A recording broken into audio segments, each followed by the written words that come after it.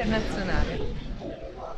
Buongiorno, saluti, bentrovati. Siamo qui con la professoressa sovrintendente Elena 54 che conosce bene la nostra penisola sorrentina, arriva di volta in volta per sistemare più cose e oggi le chiediamo questo importante convegno, quali sono gli obiettivi e le motivazioni?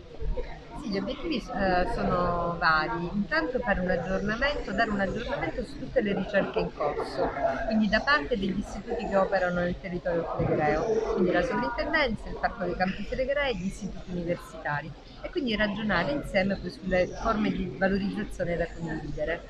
Professoressa, abbiamo scorso il programma e ci manca un paragone di raffronto con altre città greche, quale potrebbe essere la Sibari di Paola Giancani Montoni, giusto no, per avere... Vedrà, vedrà che ogni relazione conterrà dei riferimenti a quelli che sono i contesti di confronto, perché ovviamente come una delle importanti colonie della Magna Grecia ci sono elementi di confronto con moltissime altre polis, quindi questo poi uscirà dalle singole relazioni.